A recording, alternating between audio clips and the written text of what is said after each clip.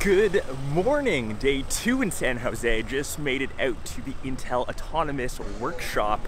And it seems that that's the biggest craze now. Self-driving.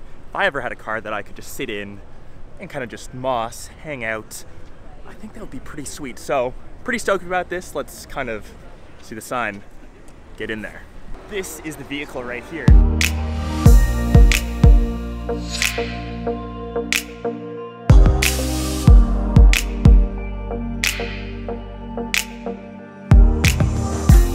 Planning. You also see here that there's crosswalks, okay, being specifically highlighted. Those are turning green right now because there's no one on them and we can actually cross. To see here the detection of the different uh, traffic lights, you get, to, you get to see the vehicles crossing.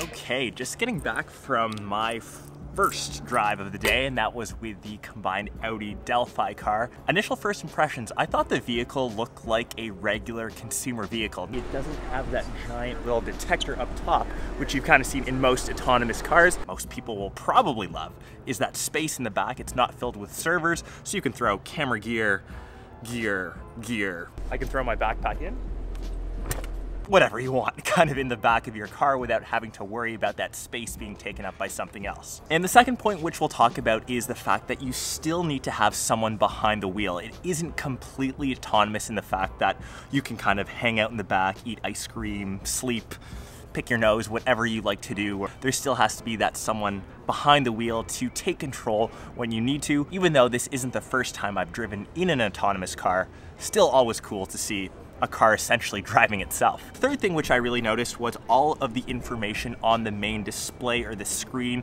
where the normal console is. Here you can see what the computer is trying to do and trying to gauge on what the car will do next. Areas that were highlighted in green were safe quote unquote areas and areas that were crossed out were areas that obviously points of concern around the car that it was noticing it couldn't go to those spots. And about the actual driving experience, I thought the AI was maybe a tad bit aggressive in how it was taking the corners. We were going a bit quicker. Some of the stops were a bit more abrupt than, I'm not gonna claim myself to be a pro driver, but it just was a bit more aggressive than I would have imagined. But I felt totally safe and I didn't feel at any moment that we were going to die, crash, burn. I personally really enjoy driving, and I think only when that time came where I could sit in the back, moss, hang out, maybe edit some video, is when I would make that switch to have it kind of partially assisted. Ah, I don't know.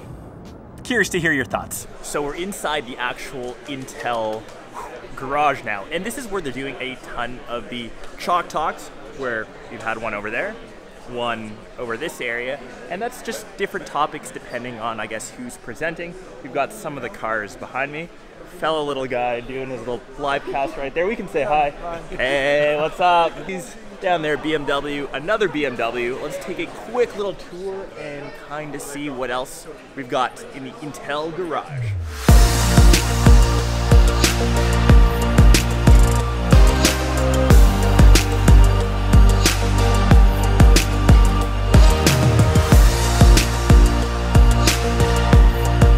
Just for kicks, I actually asked you guys over on social, what would you do with the time that you would save if you had a fully autonomous car? I'll read out some of the responses.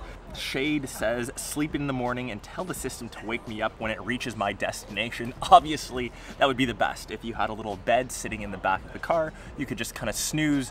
It almost becomes like your own plane and maybe a little alarm bell goes off when you've reached work.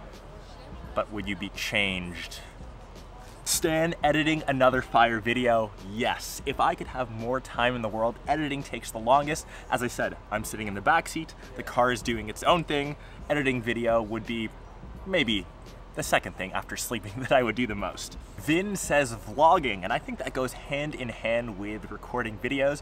While the car is just doing its own thing, you can talk to the lens of the camera and we can come up with a cool little vlog that we can work on and just more time to do your own stuff in general. Toya, eat. Mostly I'm always running late, yes eating in a car is maybe the third thing that I do the most, and I actually drive a stick shift, so it's hard to actually eat while you're shifting gears, only having two hands, having the car do its own work, frees these guys up so you can use your phone and eat. at the same time. And Julian says, watching your videos, this emoji, thanks Julian for the support.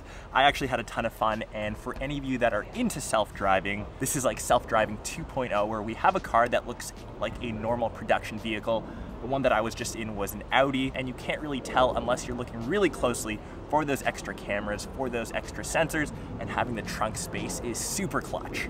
All right, just heading out of the garage now, hoping that some of the footage that I got kind of sheds some light on the future of autonomous driving, working with different partnerships, different companies to really see what's gonna happen in the next five to 10 years. They mentioned they're hoping to get millions of cars out on the road, making it a safer place safer is better, obviously. Have to get my shades on here because it's so bright outside. All the data that they're gathering, one of the instructors actually mentioned that they're getting around 10% fuel efficiency just based off of how efficient the routes that these cars can now take. Hard to believe that a car can drive better than you or I and almost tough to fathom, but I guess computers are here, AI is here, and they are making things better and more efficient. You just gotta be okay with that. Cannot wait to start editing, mostly sleeping, in the back of my autonomous car. Hopefully sooner rather than later.